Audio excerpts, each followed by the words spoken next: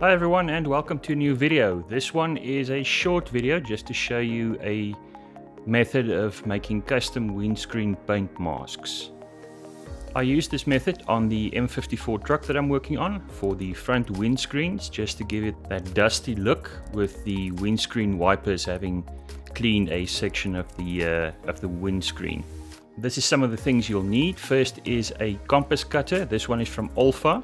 This is such a handy little tool. Um, I found mine at a hardware store. This little tool includes a cutting blade uh, with some spare blades in the, uh, in the protective cover.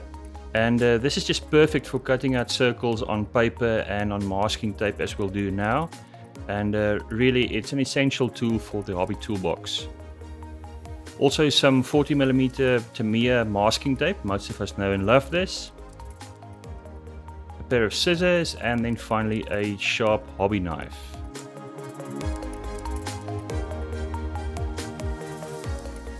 First is to determine the size of the circle that we need. In this case, I'm going to use the wiper blade as a guide. Make sure to measure the distance of the, the wiper blade itself, only the, the rubber section that will touch the windscreen glass. I then use a piece of masking tape. Just put some masking tape down on your cutting pad. Now with the measurement taken, uh, now start cutting a round circle out of the masking tape. And we'll be needing two of these. There you go perfectly clean cut, use the hobby knife or pair of tweezers and remove the round center section. Now don't throw this away. This is the actual section we'll be using to do the masking on the windscreen. We'll be needing the, the round disc as well as the uh, section with a hole in it. Next, determine the center of the windscreen, the area where the wiper blade will be wiping. We mark the edges of the screen so we can cut this section out. Need not be perfect. We'll be um, we'll be adjusting this later.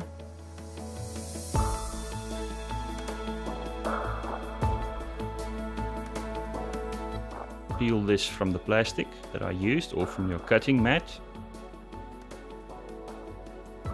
There you go. This is now ready to go onto the windscreen.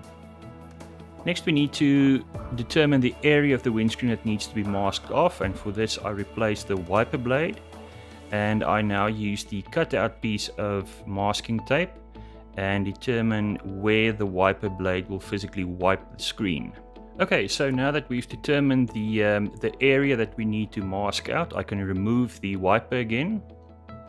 And I can now place the disc that we cut out earlier in exactly the right position. There you go. Something like that. And I can now remove the section of masking tape uh, with the hole in it and just leave the disc in place.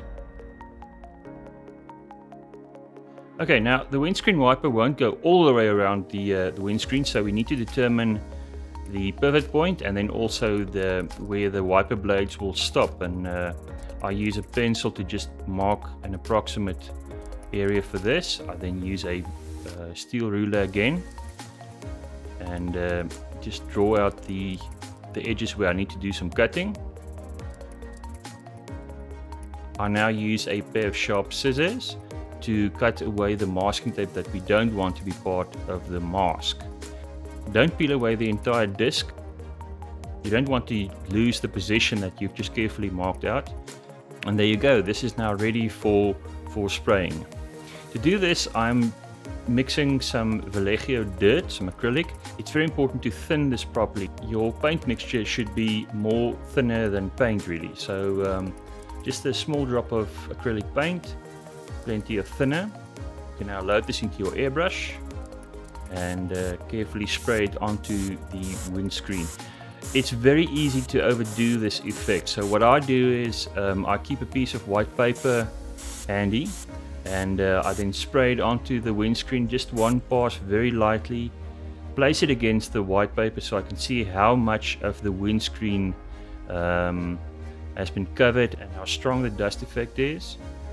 You can rather apply this effect gradually to the point where you're happy with uh, the amount of dust on the windscreen. And there you go, that is the final effect.